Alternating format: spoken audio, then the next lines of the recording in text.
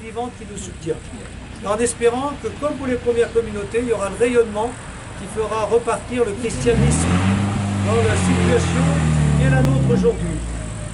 L'athéisme est un don de Dieu. Vous l'avez compris tout à l'heure, mais je rejoins, puisque là c'est pensées. Hein. Dans les livres que je lis, il y a, 15, 15, chapitres. Donc je les reprends, même si dans l'introduction, des fois il y a des choses qui ont déjà été dites pour euh, dire euh, l'intérêt de, la personne qu'on étudie. À l'issue de pénibles épreuves, l'Église reçut du ciel un don magnifique. Et ne riez pas, ce don est l'athéisme. L'athéisme militant et tout le mouvement anti-chrétien. Donc il revient constamment là-dessus. Hein. La situation de l'Église aurait été bien pire si ces mouvements n'avaient pas existé, s'il n'y avait pas eu d'athéisme. Je crains que le monde chrétien n'eût été bel et bien étouffé par les athées portant le masque de chrétien. Je pense à toutes sortes de grands inquisiteurs. Dans les étroites limites de sa vision historique, Dostoïevski voyait dans les prélats latins des figures de grands inquisiteurs. Bon. En réalité, il s'agit d'une catégorie d'hommes que l'on trouve dans tous les pays et toutes les confessions, aussi bien parmi les pasteurs calvinistes que chez les évêques orthodoxes. Ainsi l'athéisme est un don de Dieu.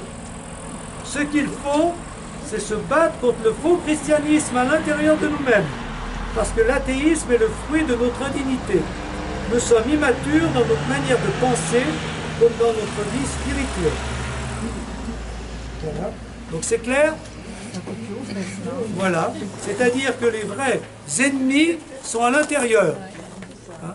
Les ennemis sont lui dit les grands inquisiteurs, hein, l'inquisition, mais voilà, c'est-à-dire quand on ne vit pas le christianisme ou quand l'Église en tant qu'institution, comme du temps des cathédrales, hein, voilà, quand elle perd un peu son âme, ben voilà, donc on rejoint sur euh, la, nécessité de, vivre avec des vraies communautés, de partager, et pas de devenir trop une institution puissante qui perd son âme, hein, et avec des représentants de cette institution, comme du temps de l'Inquisition, voilà. Donc il y a des, il y a, des, des, ennemis à l'intérieur. Alors il ne faut pas dire celui ou ceux, mais il faut s'en méfier. Hein, voilà. C'est bon comme ça? Ce qu'il faut donc, c'est ça, se battre contre le faux christianisme. Et il est d'abord à l'intérieur de nous. C'est-à-dire on ne vit pas, on n'est pas des chrétiens crédibles ou croyables. Voilà, comme on le disait la semaine dernière. Ça va?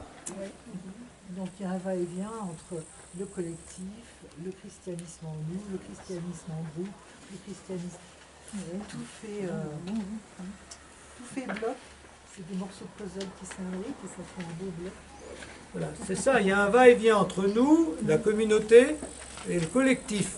Mais quel collectif? Si le collectif devient trop une institution sociale, ben, il perd son âme. Hein. Mais en même temps, s'il n'y a pas de collectif, c'est ce que le problème que je vais vous dire tout à l'heure, hein si on ne dit plus rien sur les choix de la société, si on ne représente plus rien vis-à-vis des évolutions, c'est un peu embêtant quand même. Donc ça, c'est une vraie question, moi, que je n'ai pas résolue. Voilà. Tout à l'heure, on a dit ça. Hein. Ça va? Pour nous, individus, si on adhère à un groupe, euh, hein, un collectif, l'important, c'est de travailler en nous en tant que vrais chrétiens, déjà. Ben ça, c'est important. Le plus important, c'est de travailler en nous pour être de vrais chrétiens, mais en même temps, il faut peut-être travailler pour que les vrais chrétiens soient un signe pour les autres et disent un peu comment, euh, ce qu'ils pensent de la vie. Hein? voilà. Parce qu'on peut faire adhérer à l'évangile en parlant du Christ, mais aussi des conséquences sur la vie. Hein? Par exemple, je ne sais pas moi, on peut, on peut dire venez avec nous à l'église, mais on peut peut-être bien aussi intéresser les gens à notre foi en disant comment on voit la vie, comment on voit la nature, comment on voit toutes les questions dont on a parlé tout à l'heure. Hein. Voilà. Le sens de la vie. justement, les, le sens de la vie, ben, on l'a dit un peu tout à l'heure, c'est cultiver des valeurs qui nous feront éternelles. Hein. Voilà, on peut déjà dire ça. Qu'est-ce que tu vis comme valeur hein? Voilà, ça c'est aussi ce témoignage qu'on doit donner. Il y a des valeurs qui sont intemporelles, c'est comme ça. Valeurs intemporelles que tout le monde vit. Alors, Veillez et priez en tout temps. Eh bien, ça rejoint l'évangile d'aujourd'hui, je crois. Eh bien, ça, ça, sera une introduction. Nous avons trois prières principales. La prière de demande, notre préférée, de, de repentir et d'action de grâce. Ça, vous savez, hein c'est classique. Hein pardon, s'il te plaît, merci. C'est ça la prière. Merci, s'il te plaît, pardon. La demande, l'action de grâce et la demande de pardon. La prière de demande est bénie et nous est prescrite.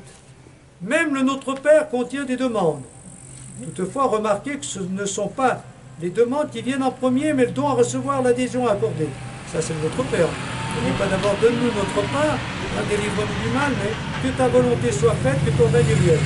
Donc on demande d'abord à Dieu d'être Dieu, de se manifester avant de demander ce, ce dont on a besoin. Après seulement vient de nous aujourd'hui notre pain de ce jour. C'est cela, comprenez-le, la libération intérieure. Sans cesse quelque chose nous ronge qui peut provoquer une névrose. Il faut faire ceci, il faut faire cela, il faut tout faire. Loin de nous venir en aide, ce type d'activisme n'est qu'une source d'embarras. Il se mue en idées fixes, engendre une atmosphère lourde de préoccupation. Donc, euh, on ne va pas toujours demander aide-moi à faire ci, aide-moi faire là, faut que je fasse ci, faut que je fasse là. Hein. Que ton règne vienne, merci Seigneur. Savoir remercier, savoir écouter aussi, savoir se poser, et pas seulement être en demande, même si la demande est importante aussi. Il faut équilibrer, d'accord? Reste un moment en silence, voilà, justement, pour compenser tout ça jusqu'à ce que les sentiments s'apaisent. Mets-toi dans la présence de Dieu jusqu'en éprouver la conscience et les sentiments avec une crainte respectueuse. Et instaure en ton cœur la foi vivante que Dieu t'entend et te voit. À l'heure où l'on va prier, il est important de chasser de son cœur les offenses, les irritations, les amertumes. Donc tout ce qui nous empêche de goûter cette présence de Dieu. Hein, donc voilà, la prière, les trois formes de prière. Prendre des temps de silence, de, peu importe. Voilà. La prière peut progressivement s'infiltrer dans tous les recoins de notre vie quotidienne. Ce n'est pas facile à réaliser, mais celui qui s'exerce à la prière fréquente reçoit une aide sensible d'en haut. Le premier exercice de la prière fréquente est la pensée de Dieu. Si quelqu'un nous subjugue et nous inspire de l'amour, nos pensées se tournent continuellement vers lui. Il en va de même pour celui qui s'est laissé subjuguer, c'est un mot fort, hein, par l'amour de Dieu. Le psalmiste se réjouit quand il se souvient de Dieu. Qu'est-ce qu'un homme qui prie continuellement? Un fou, un malade, un fanatique? La prière perpétuelle est une chose normale elle est le but de la vie chrétienne. Cela ne signifie pas du tout que le croyant doit répéter tout le temps des prières. Cela signifie qu'il se trouve constamment devant la face de Dieu.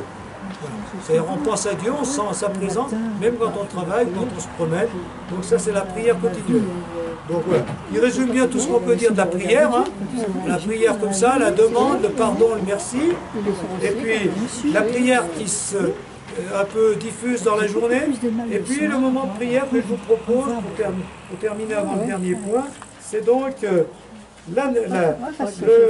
rester un moment en silence pour prendre conscience de la présence de Dieu dans la nature aussi, au milieu de nous ou en nous.